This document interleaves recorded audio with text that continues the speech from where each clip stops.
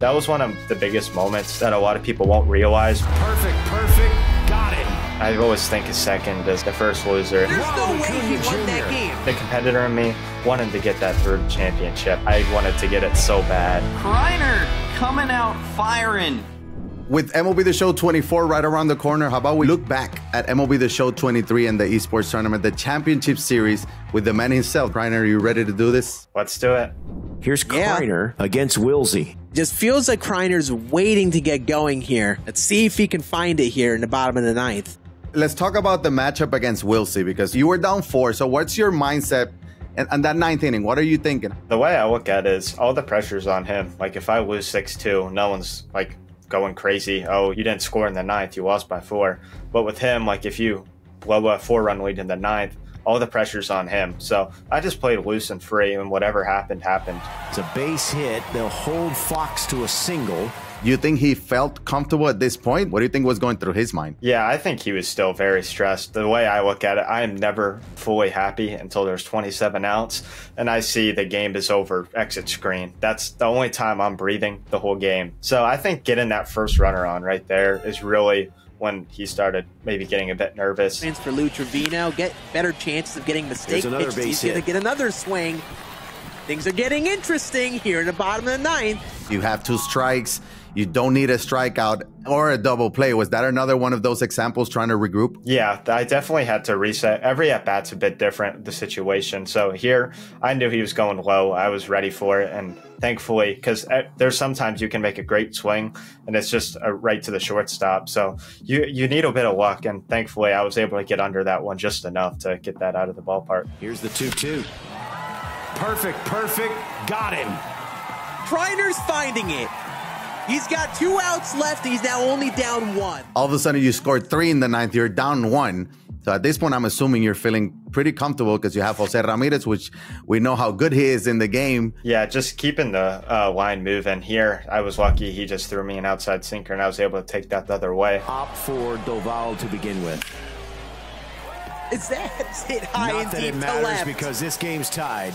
I'm assuming you feel a little bit more relaxed because at the very least, you're going to extra innings. I definitely hate going to extras because when you're the road team, you're just trying to get runs, and sometimes playing with that not not pressure, like where if you get out, the game isn't over. So just playing free um, can really help you in extras, and I really wanted to end it here. The chance to win a game on a ball to the gap.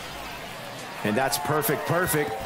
Base hit the other way. Semien will stop at second, but the winning run is now in scoring position. You have probably one of your best hitters, which is a lefty. What what's what's the plan here? So I knew he was probably dejected, and I'm on cloud nine. So I really knew if I could get out to a fast start in the first couple innings, I could take him completely out of the game. I was thinking about bringing in Rickey Henderson, but what made me stay with Belly is he actually has really good stats for his lefties. And that ball is lifted shallow right field. Semien is going to go out and make the catch himself. And that's a big out number two. What I really wanted to do was get it down the third baseline and try to like get into the corner so the guy from second can score. Well, we're an out away from having our first extra inning game of this evening session, which is what you want at No 11 way! o'clock Eastern Time. Forget what I was saying. Kriner just walked it off. There's Ronald no way Acuna he won that game. And he did not miss it. Or you did not miss it. So that was when the comeback was uh, completed there in the ninth. Everyone went crazy. You probably went crazy. What was your what was going through your mind and what was your reaction? I would say the biggest thing was relief. I just wanted to get out of here. I wanted game one so bad.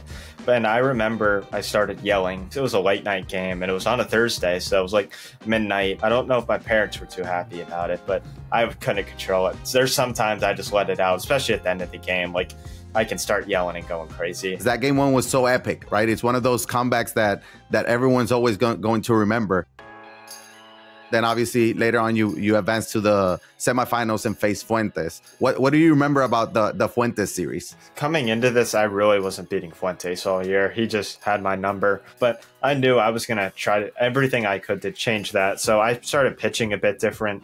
looking on that sinker low That's a and in. beautiful pitch. I tried to be very aggressive in the zone. At the very worst, I'm not walking him. If he hits it, tip my cap. But I just wanted to be aggressive, keep going, and instead of beating myself, I wanted him to beat me. Here's the 2 2 pitch from Rivera. He stayed outside all five pitches of that at bat. We've seen all tournament with these power cutters getting thrown inside the lefties. A four seamer away, and Kriner's going to stretch the lead to 9 to 2. Being up 9 2 in the fourth, it was definitely a confidence boost, especially if I'm able to mercy him and get out of here quickly, that would be great. You don't want to let these type of players hang around. So get in if you can get out of the game and just get the win, that's really what I'm looking for. So all you needed was three more runs to kind of get that mercy rule. But when is mercy rule territory for somebody somebody like you? Anything uh, six and up, um, that's when I consider mercy territory. But my approach doesn't change because the moment you start uh, trying to wait to do way too much and just press and oh my gosh, I'm two swings away from ending this game. That's when you get in trouble. He's literally he one swing away from mercy rule here in game one. Right here, I was able to hit a three-run bomb off a side to end it. And you're right, one swing away from a quick game one win for Kriner. He pulls it to center field. A just early swing, 96 off the bat. Gonna be a play at the wall, and it's gone. And just like that, Adley Rutschman with the three-run walk-off four inning mercy rule. What a statement from Kriner here in game number one. Obviously, you won game one via the mercy rule, game two as well. So that was kind of like a little bit of a surprise to everyone. The same way that you had a big comeback, you knew Fuentes was capable of having a, a, a big comeback. So were you changing your approach? So when I'm in mercy territory, I like going to my top guys in my bullpen because sometimes after a while they just see a starter for so long, and no matter if even if they're not hitting them, it just can click like that. Three. Wow, what a Frozen. pitch! So I always have two guys warming up in my bullpen, even in the first inning. I can sometimes just tell, even by his foul balls, if he's starting to see the starter well. And Rivera coming in, he's had some good innings for Kriner so far in this series. So I'm always on high alert, ready to go to the bullpen if I'm in trouble. Mookie's going to swing late here at a sinker, pop it out, and Kriner with a best of five sweep of Fuentes. So let's talk about the grand finals. Do you think you're more focused on this game because it's the finals, even though obviously the top two, they both get a lot of money? Yeah, it's hard because I always think a second as like the first loser. And even though that's not true, and I'd still come out with a, a 10 grand, the competitor in me wanted to get that third championship. It just, I wanted to get it so bad. Game one is extremely important. We know what kind of opponent Alex is. You're up by one as the road team. You can't be feeling comfortable at this situation. No, I was not feeling comfortable at all. And as you'll see here, he gets a single, perfect, perfect, like first pitch of the inning. And I'm like, oh no, one swing can end it. Are you changing your approach? Obviously, you've given up 10 runs in the first eight innings. What's your thought process as far as like on the bump? Yeah, I was looking um, double play, double play. And since he had a lefty up, I was trying to work low and away. That's really my focus is any way I can, I want a double play. And here, this was the most wild play I've ever seen. Perfect, perfect. Uh, diving play in right field.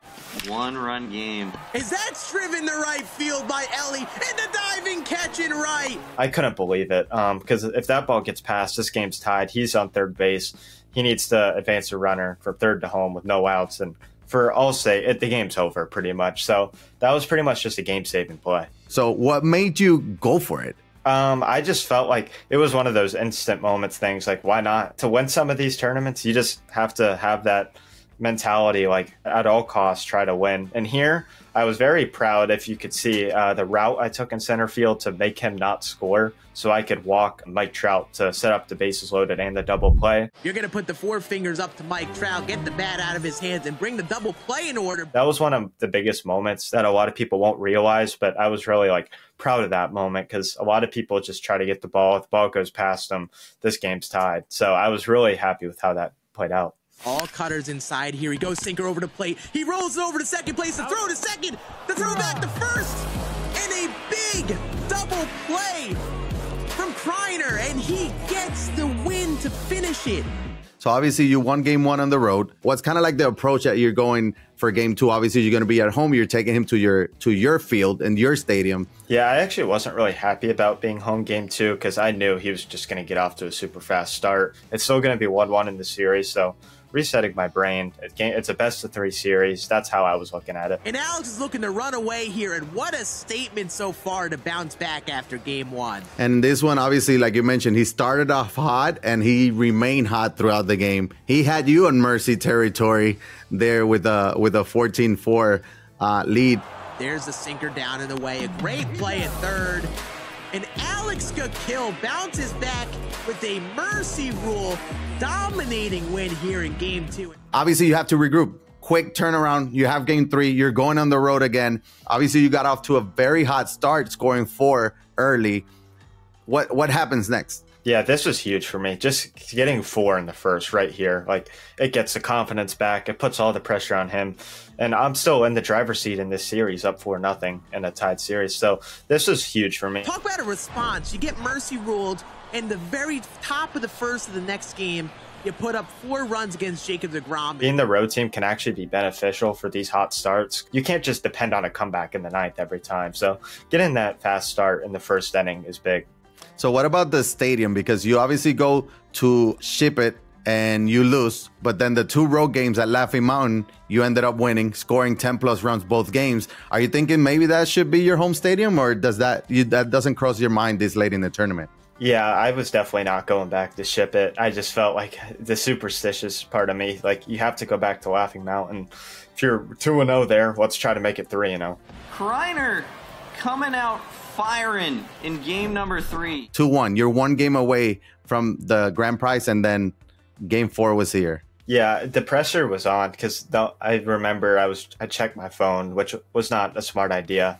I saw three time, three time. You're one game away, one game away, and I just couldn't think about that. Um, like that's just the last thing I need on my mind. It's one game of MLB the Show. Like forget everything on the line. Just play your best and see what happens. Kriner looks a little bit off with his timing and his PCI so far in this half inning. I feel like if he wins game four, he has all the momentum for game five. So I just want to keep the momentum. That was really my mindset. And especially bottom four, already 7 6. I knew Alex was not going down without everything he had. So I just had to stay composed, play my game, and just go from there. You're up one, middle of the game here you, you start you start feeling it. No, you got a back to back perfect, perfect. Uh, talk to us about how you're feeling at the plate at this moment.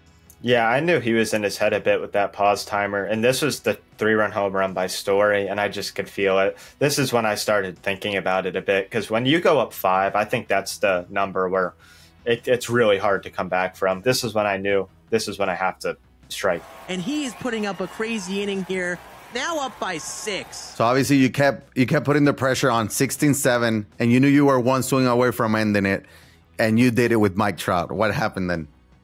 Well, he, I, I was four for four with four home runs with Trout at this point, so I had to end it with Trout. I didn't even realize until after the game, but I knew he was just. Uh, when you're up nine in the seventh, it's pretty much over. But I just wanted to get one more run, and that can be sometimes so hard. I press so much uh, you're one swing away and you're just pressing and pressing, trying to find that perfect pitch. And right here, thankfully, I was able to get it done the first pitch of the seventh inning, and then I could finally breathe a bit. Kriner is your MLB The Show 23 Championship Series champion. And then finally, you could actually look at your cell phone and look at your mean friends think you know texting you to the three time. Now you're officially the three time. I'm not really happy with the way i handled the win. I felt like more relief than happiness. Like that's not a great way to look at it. But if you're looking at winning 25 grand as relief that's not really that good. But i've learned a lot from all three tournaments how to handle it and how to handle close games and how to just close them out. What's your kind of like your vision going into 24 yeah i'm very excited and i really want to make a lot more content for the game because i feel like I, oh i get messages all the time how can i get better? So maybe recording gameplays and showing um, step by step how i take competitive games and helping uh, other people out and but obviously i'll still be very ready for every tournament and try to keep winning